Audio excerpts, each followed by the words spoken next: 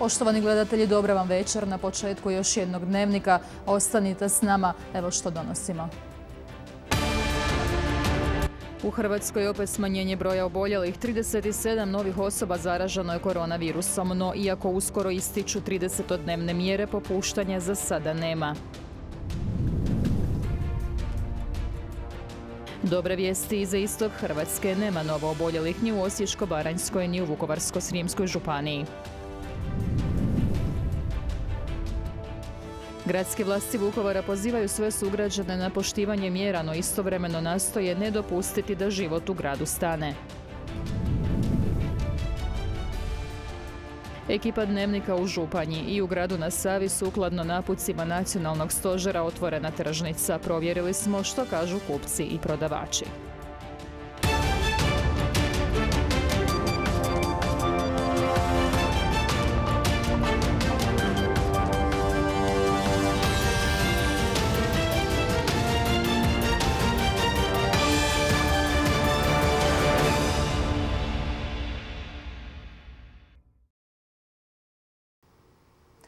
Kako je na redovitoj presici Nacionalnog stožera civilne zaštite izvijestila načelnica kriznog stožera Ministarstva zdravstva Maja Grba-Bujević, u protekla 24 sata Hrvatska bilježi 37 novo oboljelih od COVID-19. To je ukupno 1741 osoba zaražena koronavirusom u Hrvatskoj.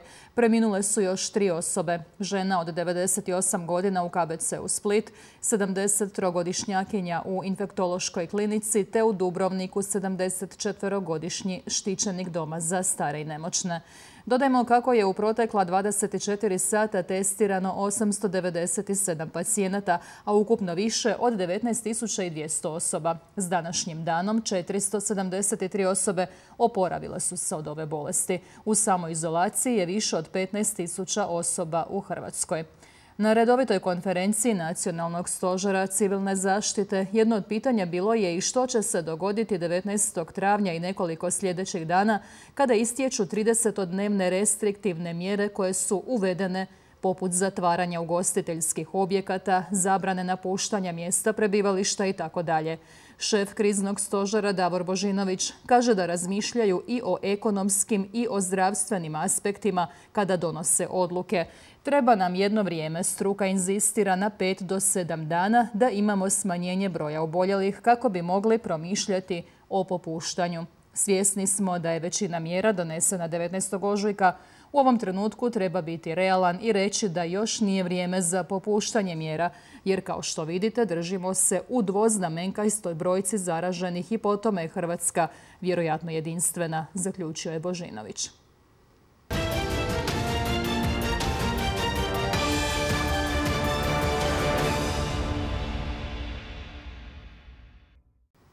Na području Vukovarsko-Srijemske županije nema novo oboljelih od COVID-19, izvijestio je Županijski stožer civilne zaštite. Negativno je svih 26 jučer testiranih uzoraka, te je broj oboljelih osoba na području županije i dalje 36. Do danas je ukupno testirano 535 osoba. U samoizolaciji se nalazi 412 osoba, a tijekom jučerašnjeg dana zaprimljena je jedna prijava o kršenju samoizolacije, te se provjerom utvrdilo da je osnovana. U objektima za karantenu nalaze se četiri osobe. U općoj županijskoj bolnici Vinkovci tri su hospitalizirane osobe pozitivne na COVID-19, što je jedna manje nego jučer, dok se ostale osobe nalaze u kućnoj samoizolaciji zbog blažih simptoma bolesti. Od ukupnog broja pozitivnih na koronavirus u Vukovarsko-Srijemskoj županiji pozitivno je 11 zdravstvenih radnika.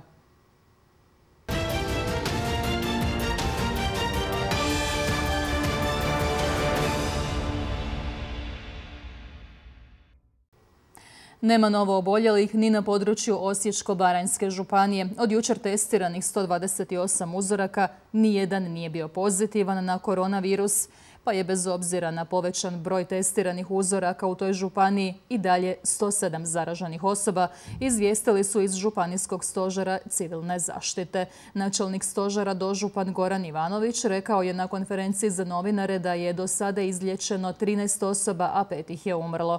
U Osječkom KBC-u hospitalizirane su 24 osobe, od kojih su tri na respiratoru. Ivanović je dodao kako je u samoizolaciji na području Osječko-Baranjske županije 200 osoba.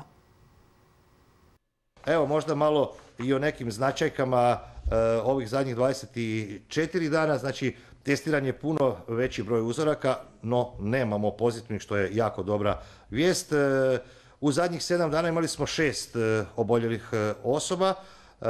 Evo, danas prvi dan da nemamo niti nijednu. Što se tiče osoba u samoizolaciji također je bitan podatak. Jučer ih je bilo 203, danas ih je 200. Prije sedam dana ih je bilo 452, a prije dva tjedna smo imali preko tisuću ljudi u samoizolaciji. E, također smanjen je broj medicinskih djelatnika KBC-a u samoizolaciji s jučerašnjih 13 na samo dva medicinska djelatnika u samoizolaciji. Većina građana poštuje propisane mjere nacionalnog kriznog stožera i drži se savjeta stručnjaka, no dio se još oglušuje na sve preporuke, ne drži distancu, ne ostaje kod kuće. Za sve njih medicinski tim iz KBCA Osijek koji u respiracijskom centru liječi najteže bolesnike ima jasnu poruku. Ja sam Gordana Pristek, anestezijolog iz Osijeka. A ja sam Medo Džunhur, anestezijolog iz Vukovara. Mi smo medicinski tehničari i pomoćno osoblje iz Osijeka. Upravo se spremamo ući zamijeniti ekipu koja je trenutno uz bolesnike. Mi radimo neprekidno 7 dana u respiracijskom centru Kliničkog bolničkog centra Osijek, a nakon toga 15 dana idemo u samoizolaciju. Za to vrijeme nećemo vidjeti svoju djecu i svoje najmilije. Mi liječimo najteže bolesnike koji su zaraženi COVID-19 virusom. Naši bolesnici ne mogu samostalno disati, životno su ugroženi i zbog toga su spojeni na respirator. Zato, da ne biste vi i vaši najmiliji završili na respiratoru, molim vas.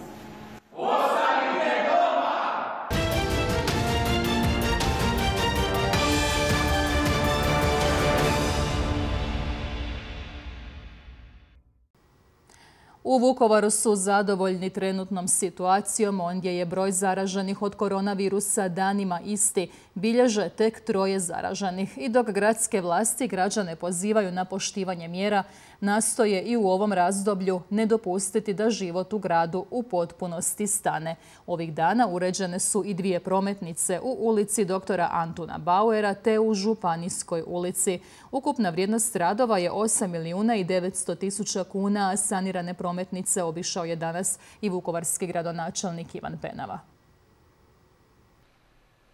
Cestovno uređenje jedne od najprometnijih vukovarskih ulica, Županijske, ovih je dana privedeno kraju. U sanaciju 990 metara duge prometnice uložena su znatna sredstva, nešto više od 7 milijuna i 461 tisuću kuna. U okviru istog projekta sanirano je i 150 metara prometnice u ulici Antuna Bauera, koja se sa Županijskom križa kod dvorca Elc. Vrijednost radova nešto više od milijun 434 tisuće kuna. Dvije ulice koje su zapravo Hrvatske ceste kao investitor u gradu Vukovaru obnovile. E, razina investicije koja je nešto malo manje od 10 milijuna kuna. E, sa tom investicijom, buduće riječ ulicama koje se nalaze u samom središtu, grada, koje su bile devastirane još od domovinskog rata, ali naravno e, devastirane uslijed vrlo gustog prometa, dobile su jedan sasvim novi izgled. U obje ulice uređena je cesta s cjelovitim novim zatvorenim sustavom cestovne odvodnje, novom kolničkom konstrukcijom, novim slojevima asfalta, a u završnoj fazi rekonstrukcije postavljena je nova vertikalna i označena nova horizontalna signalizacija, dok su u Županijskoj ulici na pješačkim prijelazima postavljeni i let reptači radi povećanja sigurnosti pješaka. Kako riječ o e, ulicama u samom centru grada, poglavito kad je riječ o Županijskoj ulici, koja je inače reprezentativna ulica u gradu Vukovaru, budući su u njoj smještene sve važnije državne, županijske, gradske institucije. Ona je dobila jedan vrlo lijep izgled, poglavito je to dojmljivo u noćnim satima kada zapravo sa najmodernijom svjetlosnom signalizacijom u kolniku i uz kolnik doista popriva jedan impozantan izgled. Obje prometnice bile su tek dio planova uređenja Vukovarskih ulica na koje grad Vukovar posljednjih godina izdvaja značajna sredstva, no aktualna situacija usporila je i tempo realizacije projekata sanacije cestovne infrastrukture.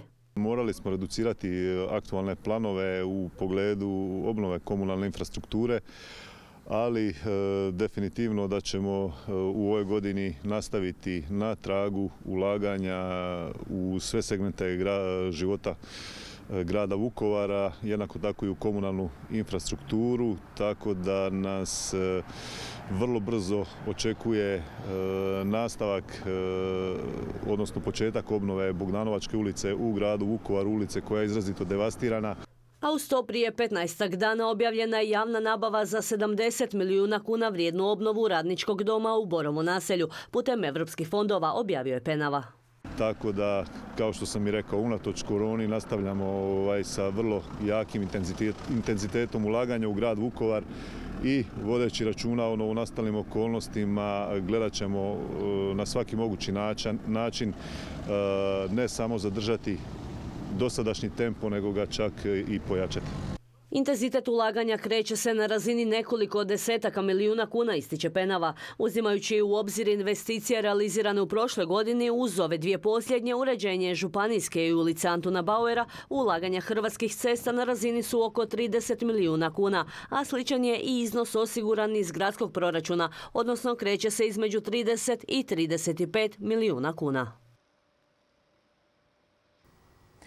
Srijedom i subotom već godinama svi putevi u Županji vode prema tržnici jer su to tržni dani. Kada tržnica nije radila, županjci su domaće proizvode kupovali na kućnom pragu. Naime, mnogi predstavnici OPG-ova kojima je županjska tržnica mjesto prodaje, prodavali su svoje proizvode putem online tržnice Vukovarsko-Srijemske županije. Otvaranje tržnice, sukladno napucima Nacionalnog stožera civilne zaštite, obradovalo je županjce. Na koji način se prodaja sada odvija, provjerila je naša ekipa. Na isti ulaz se ulazi i izlazi iz tržnice. Kupnja se obavlja kružno. Dok jedni kupuju, drugi čekaju na ulazu uz poštivanje socijalnog distanciranja. Na samom ulazu stoje djelatnici čistoće. Stojimo pred ulazom u tržnicu, znači dezinficiramo ruke, većinom ispruže sami, već, se, već su se uhodali, što bi se rekla. Da. Broj kupaca je ograničen. Mora se distanca držati na, na metar i pol. E, ulaz izlazi na, ovdje na jedan, znači ulaze. Strogo se vodi računa i o propisanom razmaku između prodavača i kupaca. Odvojeni su zaštitnom folijom. Radi nas, radi nije ovo. Sasvim u redu je. Ste zadovoljni? Jesam. Inače kupujete ovdje? Pitajte nju. Uz prodaju na tržnici Ljubica povrće i dalje dostavlja svojim kupcima putem narudžbi. S obzirom na to da prodaje rasadu ističe da bi bilo dobro da prodaju može proširiti i na ostala sela. Ja imam jako puno upita da vozim ne znam u Bošnjake, nemam za to propusnicu. Imam znači do Županje, ne znam i tamo gdje se snadbijevam za, za za repromaterijal, to je to, a ovako dalje nemam znači, propusnice. To su malo sad problemi koji bi se trebali riješiti. Ja se nadam da će se riješiti. Trenutačno na tržnici prodaje 15 predstavnika obiteljskih poljoprivrednih gospodarstava koji posjeduju zeleni certifikat. Mjesta ima za još njih petero. Mi kao tvrtka Čistoća Županja smo u udruzi hrvatskih tržnica gdje smo omogućili našim prodavačima da ishode zeleni certifikat. Sa zelenim certifikatom oni dokazuju da je to njihova vlastita proizvodnja. Ponuda je šarolika, od povrća pa do meda. Mahom se kupuje povrće od zelene salate, rotkvica, poriluka, mladoga luka. Mnogi imaju vrtove pa je i rasada tražena. Rasada Radi se u vrtu? Svoj vrt. E, jeste li zadovoljni ovim načinom kupnje? Ko nas pita? Ja nikud ne idem, a sad sam došla da sebi kupim ovo. to da. Nema mi sina kući, pa onda moram ja. Šta će biti dalje, vidjet ćemo. Ja radim kao da je sve normalno, kako će funkcionirati, to će odlučiti drugi. I ova povrtlarka dosta proizvoda je prodala na način da su kupci telefonom naručili što žele, a ona im je robu dostavljala na kućni prag, a to i dalje čini. Trenutačno se razmišlja o prostoru koji će biti namijenjen prodavačima cvijeća. Pretpostavljam da bi to moglo biti čak sad i u ovu subotu. Mi smo kontaktirali naše cvjećare i e, njima ćemo dati naputak isto kada mogu doći. Kupci će o svemu također biti na vrijeme informirani. Ovdje u zatvorenom dijelu za sada su se svi uhodali i prodavači i kupci i svi se drže pravila, pa tako i radnog vremena. Tržnica radi srijedom i subotom od 7 do 13 sati. Stigli smo do kraja dnevnika, podsjećamo još na najvažnije vijesti dana. U Hrvatskoj opet smanjenje broja oboljelih, 37 novih osoba zaraženo je koronavirusom, no iako uskoro ističu 30-dnevne mjere, popuštanja za sada nema. Dobre vijesti iza istog Hrvatske nema novo oboljelih ni u Osječko-Baranjskoj ni u Vukovarsko-Srijemskoj županiji. Gradske vlasti Vukovara pozivaju sve sugrađane na poštivanje mjera, no istovremeno nastoje ne dopustiti da život u gradu stane. Ekipa dnevnika u Županji i u gradu na Savi sukladno napucima nacionalnog stožera otvorena tržnica. Provjerili smo što kažu kupci i prodavači. Poštovani gledatelji, hvala što ste i večeras bili s nama. Ostanite i dalje uz naš program. Doviđenja.